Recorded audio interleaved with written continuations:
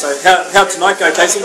Well, we're pretty disappointed in how we played, um, particularly in the first period. We didn't come up with enough uh, desire, enough effort, and we got down 5-0. It was always going to be tough to come back from that first period. But the boys really dug in that second period, so we can take some positives into the next game.